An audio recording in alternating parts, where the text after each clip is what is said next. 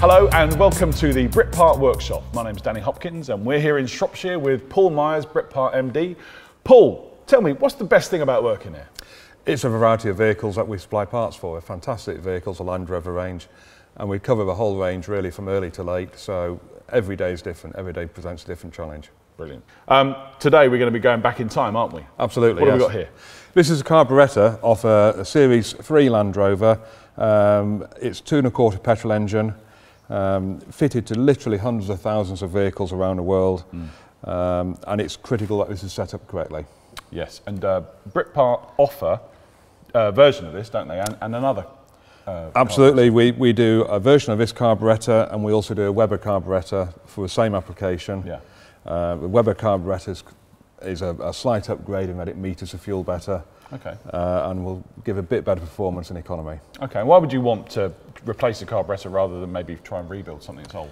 Um, a lot of the parts aren't available now for the older um, um, carburettors and also if you get wear on these spindles, um, it will suck air into the body and you can never adjust them correctly after that. No, that makes a lot of sense. Okay. Um, which are the screws that we have to look at? Because we're going to be having it on the vehicle in a minute, but it's good to, now it's off on the bench. Have a quick This look. is the main adjustment screw, which Yeah. is the, the fuel mixture screw. Yeah. And then on the other side of the carburettor, we've got the idle adjustment screw Gotcha. to set the idle. Fine, brilliant stuff. Okay, so we're going to go over to our military spec 109 right now. We're going to see Martin and Steve and see if they can get it running absolutely perfectly. Right, here we are with our Land Rover Series 3. This one's fitted with the two and a quarter petrol engine. Um, this is the original carburettor from the engine. It's a great carb, but it's difficult to get parts for these old Zeniths now. So what we've done is replace it with an equivalent unit, which is supplied by Britpart. Um, very easy to fit this, this carb. There's a couple of small adjustments that can be made to it, uh, one of which being the idle speed, and the other is the fuel mixture at idle. Uh, those adjustments need to be made just so that the engine runs sweetly when it's at tick over and the emissions are within specification for the MOT. Before we make any adjustments to the carb, it's really important that all the ignition components are in top condition, including your coil, HT leads, distributor, points, and plugs. Uh, when you're happy that they're in good condition, make sure the timing is spot on as well before you do make any carburetor adjustments. Uh, it's easy enough to find your uh, correct timing settings in the workshop manual for your engine. So, what we have here is a timing light, which also displays the idle speed. And how it does that is it picks up, it's got an inductive sensor that we've plugged onto the number one HT lead. So when Steve starts the engine, this will display our idle speed. And the correct speed for this engine is between 750 and 800 RPM. So Steve, if you start her up.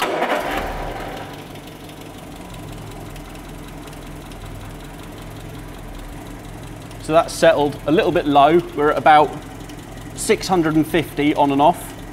So what we need to do is increase the idle speed and that will be a delicate balancing act between increasing the idle and still making sure the vehicle's running at the correct fuel mixture.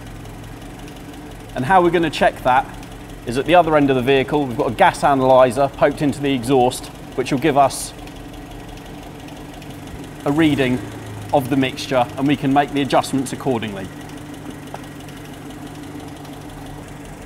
We're almost there now, we're at about 730, so a little tweak more on the idle speed screw. So we've set our idle speed. As you can see, the timing light is between 750 and 800. So now that that is set, the next stage is to adjust the idle mixture. And that's done with a screw that's just inboard of the carburettor. Steve's just tweaking that now. And the reason for doing that is that for the MOT, the CO mixture from the exhaust must be below 3%. At the moment, we're just above 3, so Steve's going to lean the mixture out slightly at idle. And that's obviously really important for the MOT, but there are many other reasons why your engine needs to be running the correct fuel mixture. And here's Fuzz to explain why. Loads of people love a circus, and in every great circus, there ought to be a fantastic balancing act. Now, in your car's engine bay, there is another fantastic balancing act, and that is the balance between air and fuel. So, air and petrol. The carburettor performs that great balancing act. If you have too much air and not enough fuel, the combustion in the combustion chamber will be hot, hot enough to melt aluminium pistons. Not a great thing. If, however, conversely, there is too little air to too much fuel, then you will get an unclean burn where you get a lot of carbon buildup. So the internals of your combustion chamber get dirty, the valves get dirty, everything gets covered with a layer of soot which hardens up and chokes your vehicle, effectively stopping it from breathing properly. The carburetor's balance is vital to your engine's health. We've got the gas analyzer plugged in. The magic number we're looking for is 3% CO out of the exhaust. That's, that's what we need for MOT.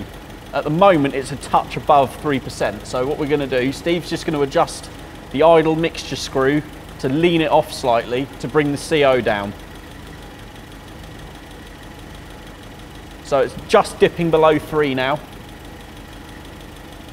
And Steve's just tweaking the screw. It's mounted inboard on the carb towards the rocker cover.